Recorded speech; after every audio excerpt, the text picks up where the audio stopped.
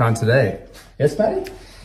Um, like, like, how do you mostly, like, do you need every like single one to just fix like one bike?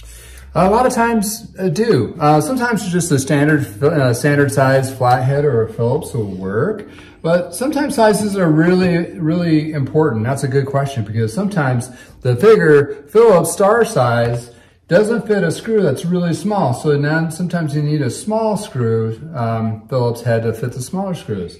Just like your batteries on your toys. This is too big. Sometimes this is too small, which I sometimes default to the medium one. Um, anyway, tested and tried and true. So. But if you need like a really small one, you could use Yep, we can use that one. And just like any other uh, Phillips and also standards, there's all different sizes and shapes. If you ever go to the hardware store and you get drill bits,